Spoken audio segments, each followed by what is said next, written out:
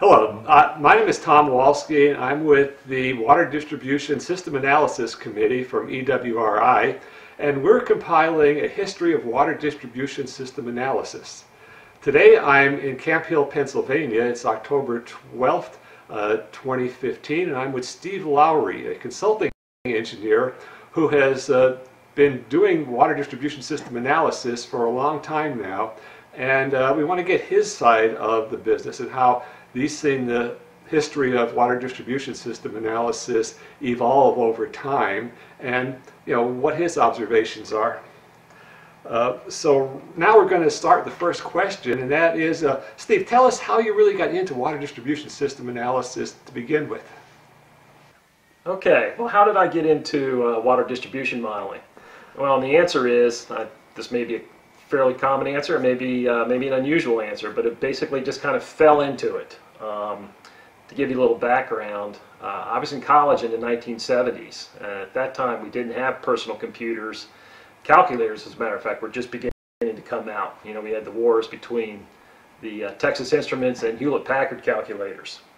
Uh, we did have a mainframe, of course, at the university, and uh, we did punch card type programming, that kind of thing.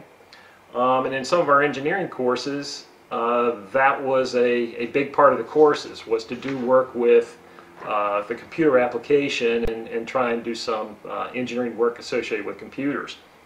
Uh, and one of the things that we did, of course, was a Hardy Cross procedure in some of my water resources classes. And first we did them by hand, and it wasn't a very big network that we were working on, but as you can imagine, the, uh, the time required to do these things by hand was quite a bit.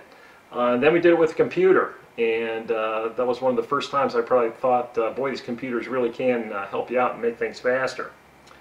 Uh, and then at the first couple of jobs I had as, a, as a consultant after I graduated from college, uh, we had a little, I had a little more computer exposure than probably most people did. and then in 1985, I moved to Pennsylvania and I started with a large consulting firm and in the entire water resources department, I was about the only engineer with much in the way of computer skills. Uh, and of course, they had a mainframe, did a little work with that. But back in the corner of the office, kind of in the closet, was a, an IBM XT computer. It had a 10 megabyte hard drive. It was uh, a huge computer for the time. And my first experience with a computer other than a mainframe really, or a mini type computer. Um, and on that computer they had a, a software package uh, from the University of Kentucky called KY Pipes, which allowed you to do hydraulic analysis work. And uh, it was all manual input data. You had to put everything in, in tables and text editors. Then you get your results. It was also a, a, just a printout of columns of uh, numbers and uh, that kind of thing.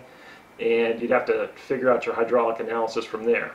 I can still remember doing a 600 pipe model, take about 45 minutes for a run. So you'd go to lunch, uh, and then you'd come back uh, and look at your results when you got back and hope you didn't make a mistake in your input data. Um, but again, so really the way I got into it was I was the one unusual person in the group that, that knew anything about computers, so they put me back in the corner with the IBM XT and, and let me have at it. Okay, so since then, though, you've branched out and become a consultant on your own with a one-man company. You've worked on a lot of systems. About how many studies have you done? Well, you know, I've never really counted. I would say it's got to be at least 100. You know, and a lot of those are pretty small systems, but and mostly in the United States. Um, I've done a couple models in Puerto Rico, uh, and then the rest of them have been across the United States, but I've worked in, I'm sure, more than a dozen states doing hydraulic work.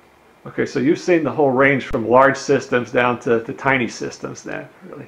Yeah, I've worked on some some mega systems where the, the I mean in terms of the customer demands we're up in the 350 MGD range down to small systems with uh, less than 1 MGD range. Yeah. So do you have any especially interesting uh, studies that you've worked on? Well, over the years, there's been quite a few interesting ones, uh, and for different reasons. Uh, did a job in Long Island, in New York, um, several years ago. The interesting thing about this model was the way in which they operated the system and then the way I, I had to calibrate the model in order to get it to work out. Uh, it was a system with no floating storage. They had a series of wells distributed throughout the system and then a couple of pump storage facilities. But they operated the system based on pressure. So as pressures dropped, they would they would increase the number of wells that were running, and my calibration technique had to had to take that into account. Um, and so it was a it was an interesting job from that viewpoint in terms of the the unusual kind of calibration work that was required. Another job I had that was was interesting was probably a, in that that same time frame was a job I did up in the Scranton and Wilkes-Barre area in Pennsylvania. Uh, it was a big system that they were combining multiple systems that had developed over the years, um, a lot of unusual mapping and piping arrangements and things like that. And I also met this uh, interesting fellow there that was in charge of the, the water systems up there. His name was Tom Walski. And we became friends and uh, have been now for 25 years or so. Uh, but the, just the, the procedures and the mapping and the extra work that was required in order to figure out how the distribution systems were actually, actually connected up up there made that a, a really unusual and interesting job.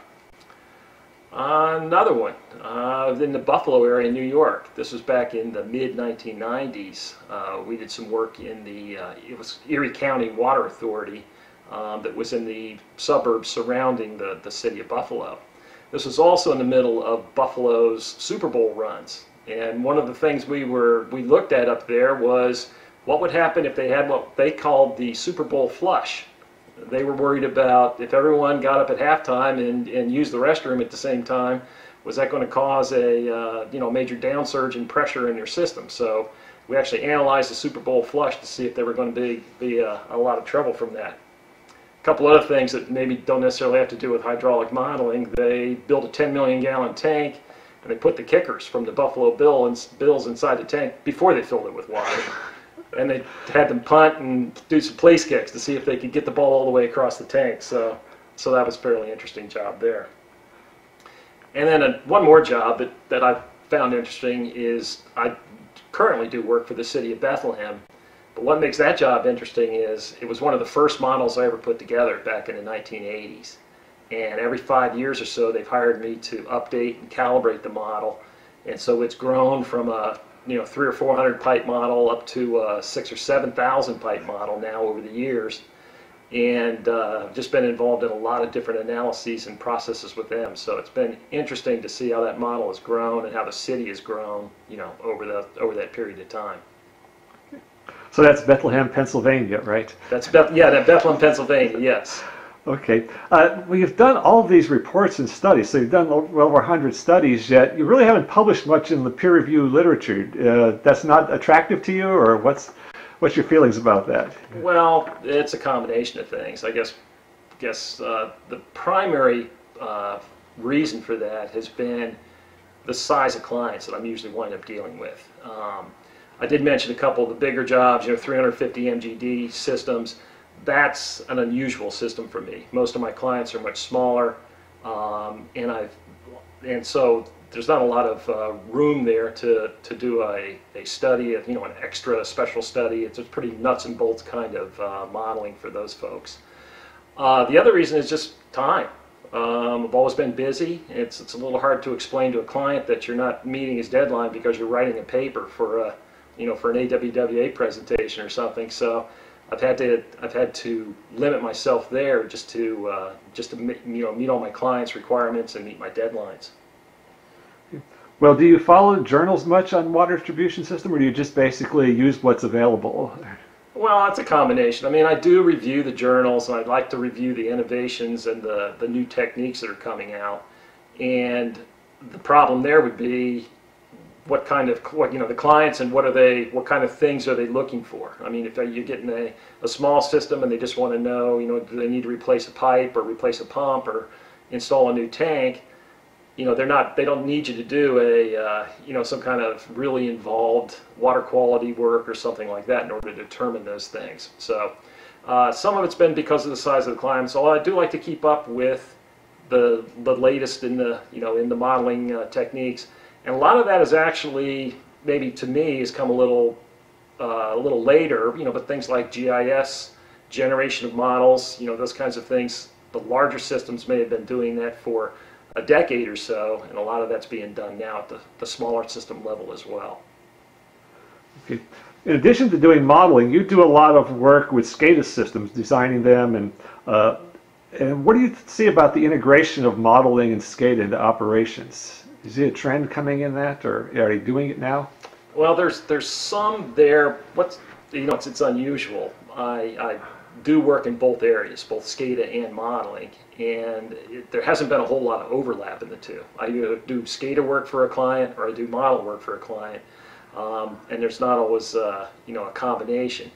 And I think one of the things is that you, you're that's happening in the area is that you've got, unless it's a very big system, you know, you've got your SCADA people in operations, you've got your modeling people in the engineering department, and there may be some friction between the two or just not a lot of interaction between the two in all cases. So you've got people protecting their territory. Um, and as a result, you need to overcome that, that uh, diversity between the, the, operations people versus the engineering department in order to get the integration of the two. I do think there's a lot of, of uh, potential there. Um, you know, operations people are very good with running the system, understanding the system, how it works based on their past experiences with the system. And so if they come into a situation and it's something that they've dealt with before, they're very good at handling that. Uh, the concerns or the problems that they have is when something new comes along. And that's where your model could really help because you could do some SCADA model interactions and show them what to expect under this new condition or this new situation that they haven't dealt with before. The problem there is getting convincing them that they need to con concern themselves about some of these new situations. You know, something that hasn't happened before, they're not necessarily uh, thinking that's going to happen. So, you know, they may be a little resistant to, to doing those kinds of things. But that to me is the is the biggest roadblock to the SCADA model integration is just getting those departments to agree that there are some benefits to both and, and getting some interaction there. Right, it's more of a, a people issue as opposed to a technology issue then really.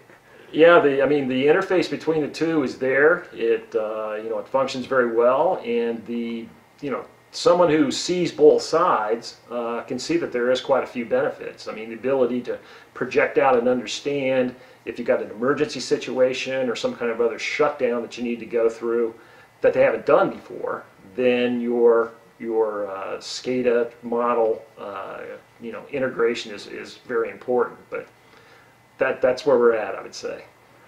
Okay. Well, since you've been doing this now for decades, this kind of work, do you have any overall observations about the history of distribution system analysis and how that is going to go into the future. So we, we're watching this 10 years from now, see how well you predicted what's going to be happening.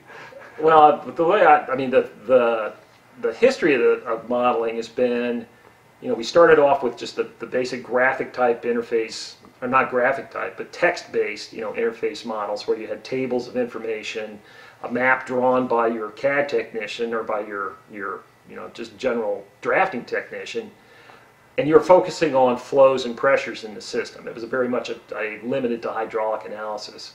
A lot of the development went into, at that point in time, you know, decade ago or so or more, went into improving that preparation of the model and, and improving the graphic capabilities of the model. So you, you know, you work, you had graphical user interfaces, those kinds of things. Still mainly though, the models were focused on flows and pressures. Um, and then as you know, as times evolved from that, we've got to the point where now that the development of the model from a graphic basis is is coming along very nicely.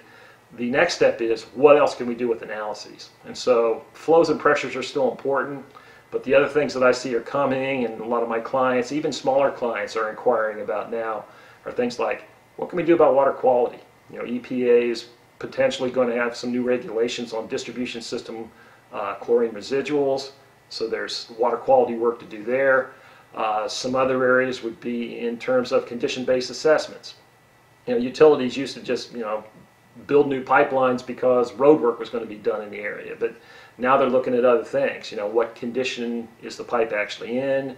You know, how many customers am I serving from this, you know, through this main? How many people would benefit from this improvement? And they're doing much more of a uh, trying to spend their dollars uh, wisely. And so modeling would really help there. And a third area is in the in the the other, again, this is also kind of a uh, money issue, is what can we do to reduce water losses? You know, what can we, you know, what kind of water audit can we perform? Um, what other kinds of things can we do to, to find out where we're losing water in our system and there and uh, you know reduce that amount and maybe we can save some other system improvements, you know, a construction project or two, and save quite a bit of money. And I think what's going to drive that is improvements in things like metering. You know, we've got new innovations and new things in customer metering, you know, where we can, you know, get all the readings hourly basis, you know, based on some kind of automated meter reading program.